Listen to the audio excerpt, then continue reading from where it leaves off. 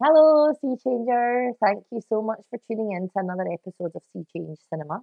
I'm really glad I remembered my name there because I had completely forgotten what I'd named the business earlier on today, which made me look like a bit of a knob. Um, so, hooray! Sea Change Creative Content is the name of my business. I'm Abi Sea. Thank you for tuning in. Um, this week I wanted to talk about a theme that's popped up a few times with my clients and actually just speaking to my pals. I've got loads of pals that run their own businesses and they are experiencing the same thing. Um, I don't know if there's something in the stars that are making us all feel this way. If there's any spiritual people watching this, please let me know because I love knowing about this kind of stuff. Um, you know, greater forces and powers than us making us behave and think and feel in a different way. I love it. So please let me know. This week, I have had so many conversations about being yourself, stepping into your true, authentic self when it comes to your business.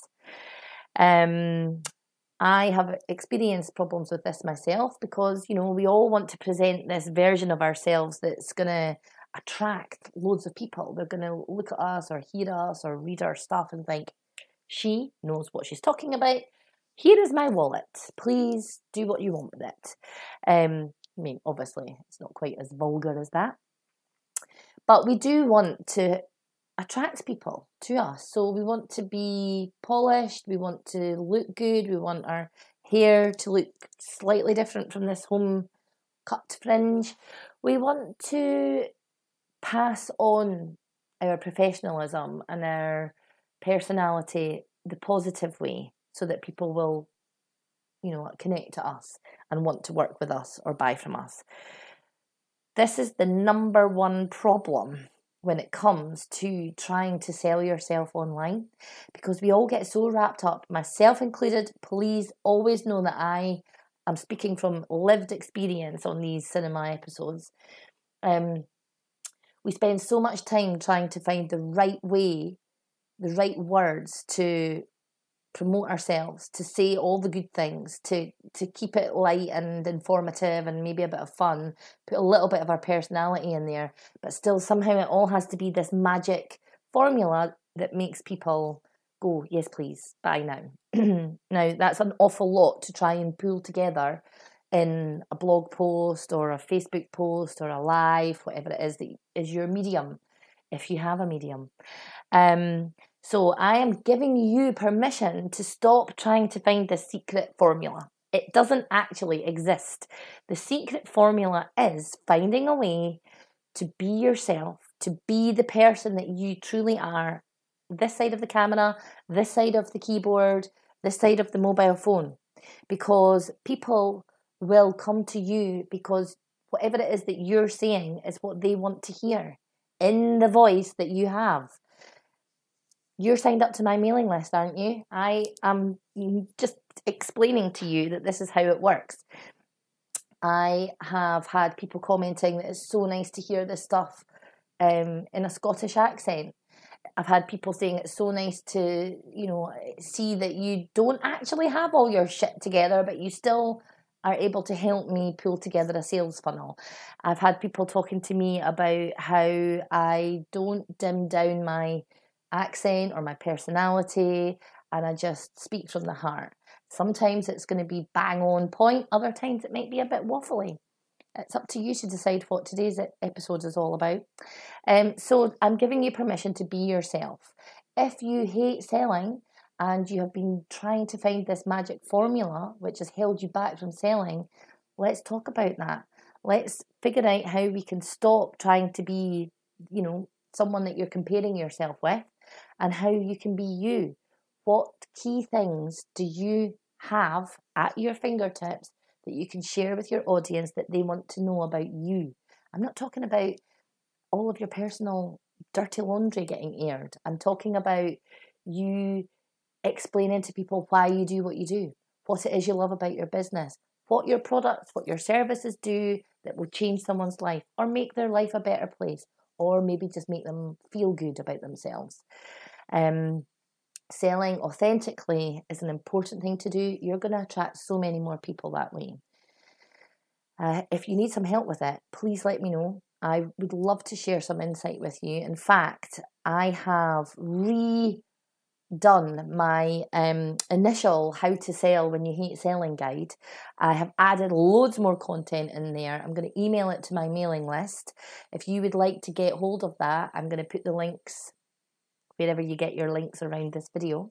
And please download it, read it, You'll learn so much more about being yourself and how to get out of the horrible bumps and challenges that we've got when we try to sell, when we try to sell ourselves and when we're trying to be something that we're not, because nobody wants to hear that. Okay? So that's my little mini lecture for today.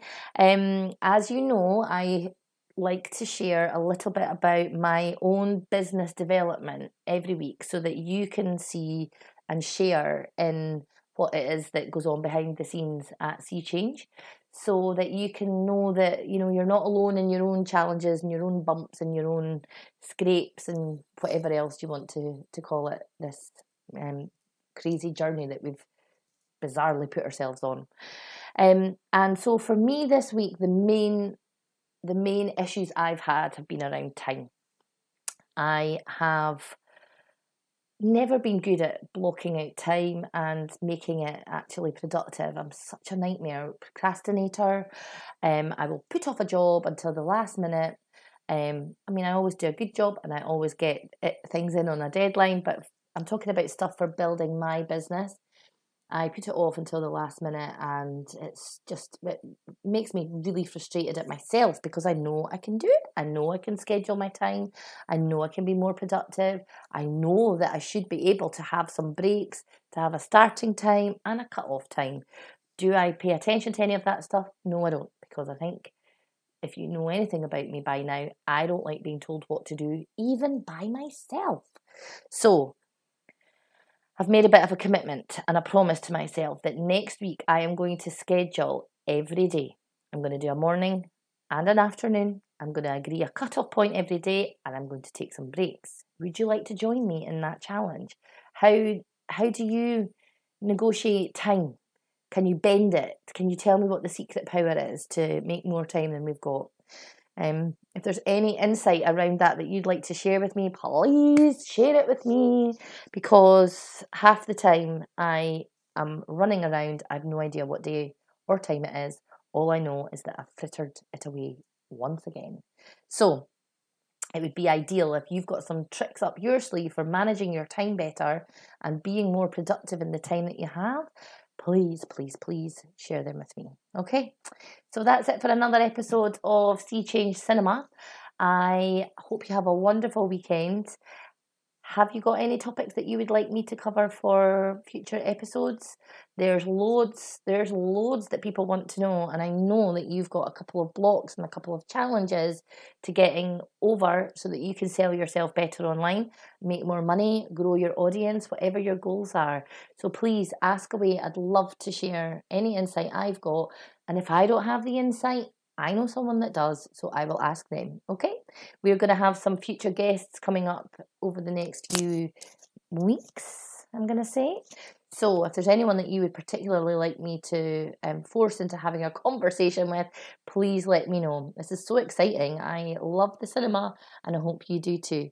Have a great weekend and see you next week. Bye bye.